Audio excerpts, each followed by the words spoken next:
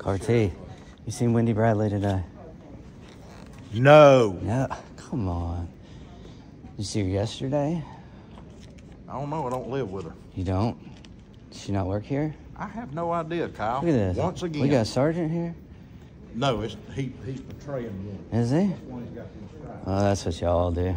It's all just made up titles. So. Halloween. I'm gonna play you. What, what's your name? D. Wood.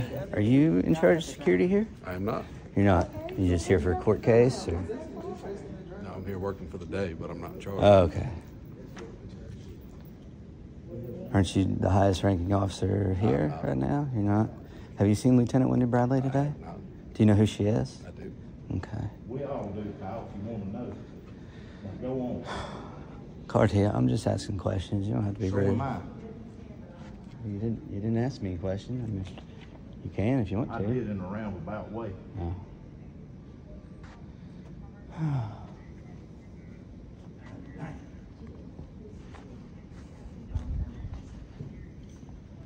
You seen Wendy Bradley today? You see her yesterday? She ever here? Occasionally. Occasionally. Calm down, Cartee. It's not a big Well, deal. I ain't got out of control yet, Kyle. You don't know it. Well, I hope you don't. Yes, you, that's exactly right. You, You, can- better hope. you might lose your job. No. You could. See you, ma'am. Kyle, anybody explain dog crap to you? Sp- Come on, explain. explain it for you. Okay, explain it for me. All right, this is how dog crap works. Okay. It can dry up, blow away in the wind. It can be picked up by a shovel.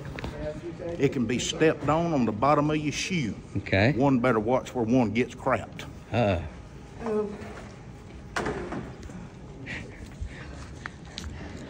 Cartee, you're awesome, man.